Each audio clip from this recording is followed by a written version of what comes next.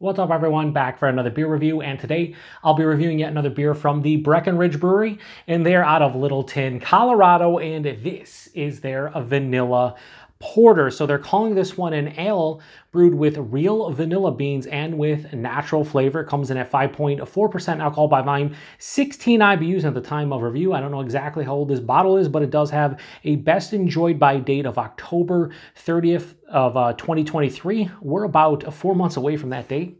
So this should be relatively uh, fresh. So I haven't had this beer in a long time. I think the last time I had this one was maybe uh, pre the AB InBev buyout, which was probably what, like 10 years ago, maybe like eight years ago. I, I forget at this point. Um, but this was one of the first vanilla porters I've ever had. Might have been the first one. I don't remember, but it was definitely like one of the first three I've ever had.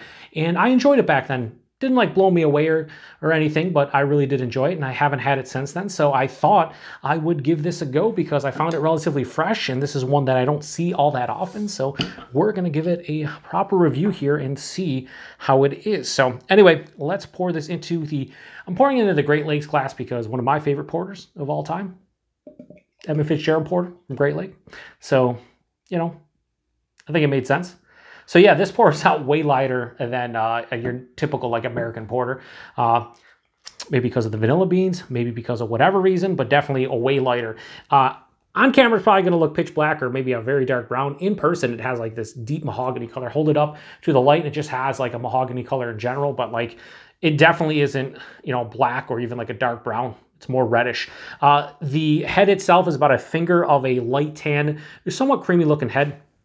I can see my sh the shadow of my hand through the beer, but cannot make anything out because it is darker. But yeah, it's all right. Just a little bit off-colored for what I'm thinking. Anyway,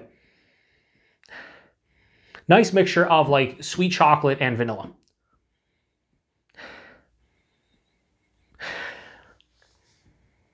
There's this pronounced maltiness that is kind of just like straight malt not like an actual character, just smells like straight malt. It, it kind of has like an almost, there's also, what is that? Like a slight black licorice tinge in here. Not all that roasty, uh, more toasty than roasty. Yeah, you know what? It has a little bit of like a uh, molasses tinge. Yeah, so chocolate, vanilla, molasses, a little bit of black licorice, slight earthiness. But for something that calls itself a vanilla porter, I remember this being a little bit more uh, you know, vanilla forward. And you can see a little condensation on my glass. This is right out of my uh, darker beer fridge that is 54. But it is warm out. It's like, what is it? It's fucking after midnight and it's like still like 70 something outside. Definitely humid as well. Anyway, it smells okay. I remember it smelling better, but then again, that was 10 plus years ago. So, you know, your memory fails you. At least mine does a lot. Anyway, Cheers, everyone.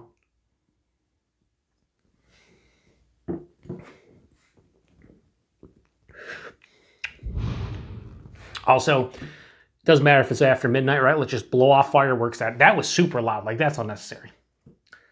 They should get in trouble. That's ridiculous. Like I'm all for you know around the fourth or on the fourth or whatever. I get it. Enjoy yourself, but no, it's not even the fourth yet, and like that's crazy at nighttime. It really is. I don't even know if you're going to hear that on camera, but it was pretty loud. So yeah, the vanilla is a little bit more prominent in the taste. But this is drinking more like a generic ale as opposed to a porter, if I'm being honest. The base beer just seems like not doesn't it have enough like porter soul to it to actually call. If I was doing this blind, I don't know if I'd call it a porter. Maybe like a, you know, maybe like a deeper, darker brown ale or something. All right, so body on this one for 5.4%. Touch under medium. Yeah, I'd say it's like a touch under medium. Um, a little bit thin feeling, especially considering it is a porter. The mouthfeel has a mild to moderate carbonation, has a smoothness to it, not really creamy uh, or soft or anything. I think the mouthfeel is fine. It, it, actually is pretty solid, but it's definitely a, I feel like it's a bit thin. The taste though, the vanilla is omnipresent, and it does have a realistic vanilla kind of kick. It doesn't feel like synthetic or like they're using vanilla flavor, and it does say brewed with uh, natural vanilla beans and uh, natural flavors. But I feel like the vanilla beans, they're authentic and they're omnipresent. It's everywhere. I get vanilla. So the vanilla portion of this vanilla porter is nice.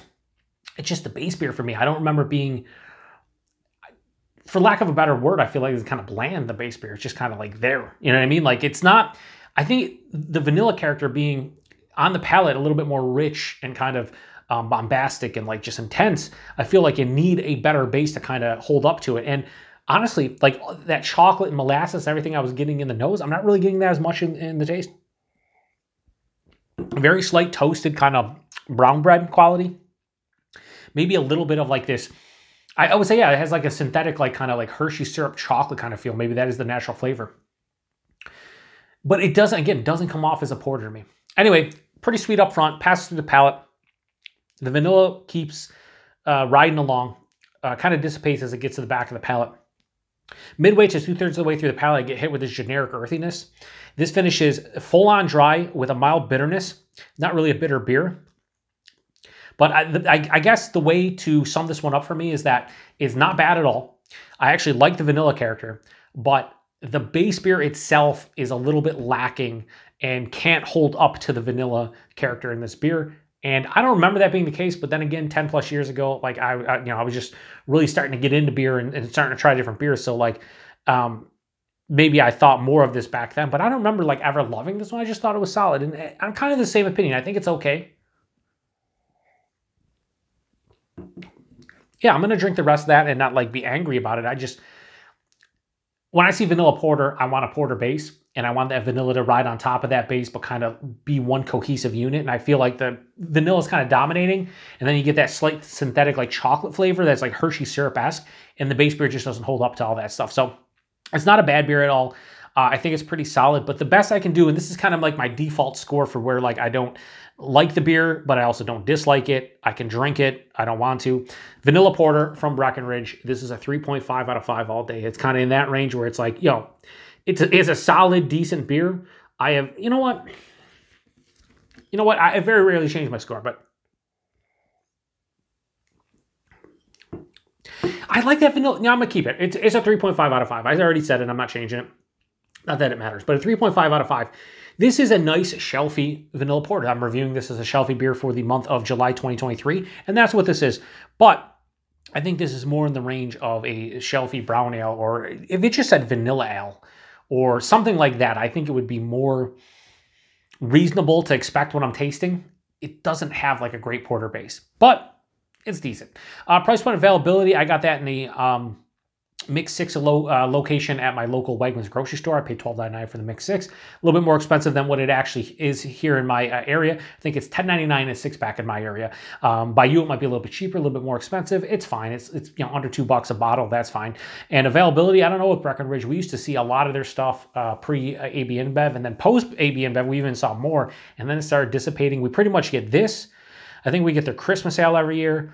Um, their nitro, I reviewed their Nitro Irish Stout, I think, um, back in March. But outside of that, we don't see like a lot of their seasonals. I think maybe they're do they have an they have an amber ale, right? I maybe we see that, but we don't see a ton from Breckenridge, to be honest with you. But I saw this one; it was relatively fresh. I'm like, I got to give it a go. It's been a long time. So, if you've had this one before, post in the comment section. And I say this every fucking review at the end. You guys know the spiel, but I'm honest when I say this. I want to know what people I like. If there's a hundred comments in the comment section about this beer, I will re- read and respond to every single one because that's what you're supposed to do when you have a YouTube channel, especially as small as mine.